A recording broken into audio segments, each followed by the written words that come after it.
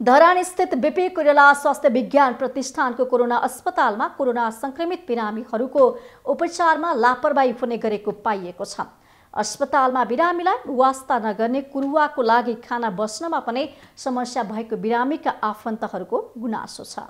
धरान स्थित बिपी कोइराला स्वास्थ्य विज्ञान प्रतिष्ठानको कोरोना अस्पतालमा सुविधायुक्त एक सय सैया छन्। दक्ष जनशक्ति परिचालन गरेर कोरोना संक्रमितको उपचार भइरहेको अस्पतालले दावी गर्दै आएको छ। तर बिरामीका कुरुवाहरूले भने उपचारमा लापरवाही भएको आरोप लगाएका छन्। बिरामीलाई समयमा खाना नदिने र बिरामीको अवस्थाको बारेमा कुरुवालाई राम्ररी जानकारी नदिने गरेको उनीहरूको गुनासो छ। कुरुवालाई बस्न समस्या त छँदैछ। निषेधाज्ञा सुरु भएसँगै खानाको समेत समस्या भएको छ। मेरो बच्चा एक्कासी बिरामी भयो अनि यहाँ लिएर आएँ म। आउँदाखेरि चार दिनको बादमा चार दिनमा प्याङ्काट्राइटिसमा समस्या देखा पऱ्यो त्यसको उपचार भइरहेको थियो। हुँदा हुँदै अनि यो पिसिआर टेस्ट गराउँदा पोजिटिभ देखिएको हुनाले उसलाई यहाँ सारिएको छ। सानो बच्चा एघार वर्षको।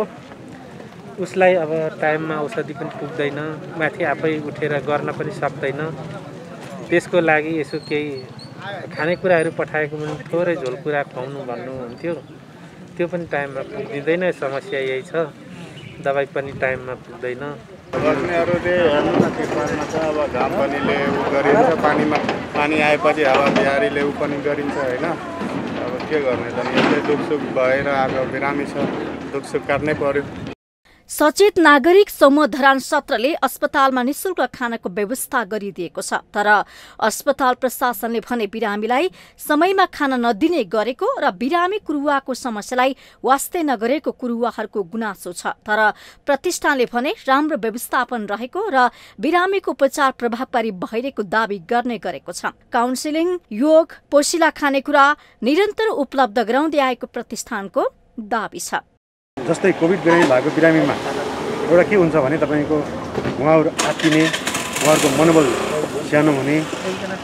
त्यो उहाँ उहाँहरूलाई मनोबल हौसला प्रदान गर्नका लागि विगत हामीले चार पाँच महिना अगाडिदेखि जब बिरामीको सङ्ख्या एकदमै न्यून थियो हामीले आधी घन्टादेखि पैँतालिस मिनटसम्म बिहान तपाईँको लगभग साढे सातदेखि पाउने आठ सवा आठ बजीसम्म हाम्रो एउटा काउन्सिलिङ भनेर बिहान पैँतालिस मिनट जति हामीले कोभिडमा बिरामी भएको बिरामीलाई काउन्सिलिङ गर्छौँ। उहाँलाई हौसला प्रदान गर्छौँ। उहाँहरूको मनोबल उच्च राख्ने प्रयास गर्छौँ। सँगसँगै बेडमा जो जस्तो बिरामी छ जसरी गर्न मिल्छ उहाँहरूलाई हामी योगाहरू सिकाउँछौँ।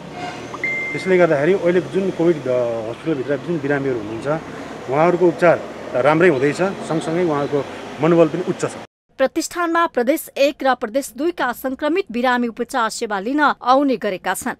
प्रतिष्ठानमा हालसम्म एक हजार तीन सय अन्ठानब्बे जना कोरोना संक्रमित भर्ना भएका छन् भने एक हजार बाह्रजना उपचारपछि निको भएर घर फर्केका छन्। बिजनेस टेलिभिजनको लागि सुनसरी सहकर्मी बसन्त बान्तुवाको रिपोर्ट।